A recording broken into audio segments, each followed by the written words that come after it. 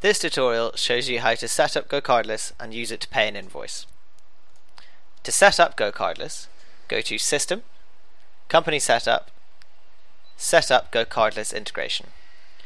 Fill in the authorization description. This text will be shown to your clients when they sign up with GoCardless. Next step is to sign into your GoCardless account. If you haven't got one, you can sign up using the link. To take payment from a client who hasn't got direct debit already set up, go to their account and click the Set up Direct Debit. You can send this link to your clients to sign up. This is the form they will have to fill in.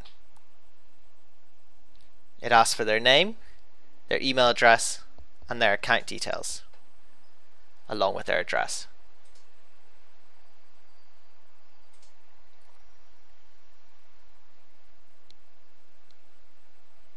Once they have done this, a direct debit mandate will be created.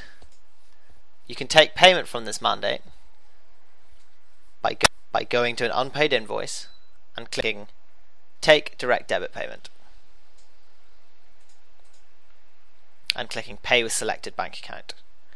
Once a payment is taken, it will be marked as pending until such time as GoCardless take the payment from their account.